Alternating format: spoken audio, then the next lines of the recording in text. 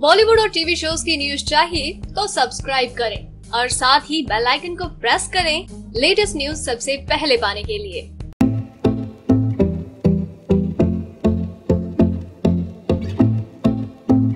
TV show big boss हमेशा से ही लोगों का फुल एंटरटेनमेंट करता आया है। शो का तेरवा सीज़न भी कुछ कम नहीं है।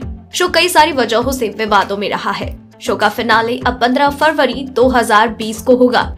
शो में सिद्धार्थ शुक्ला को बिग बॉस तेरह के खिताब का मज़बूत दावेदार माना जा रहा है, लेकिन इन दिनों वो बीमार चल रहे हैं और डॉक्टर्स की देखरेख में उनका इलाज चल रहा है। अभी वो पूरी तरह से ठीक हुए भी नहीं थे कि बिग बॉस के घर में उनकी क्लोज पार्टनर शहनाज गिल भी बीमार हो गई है।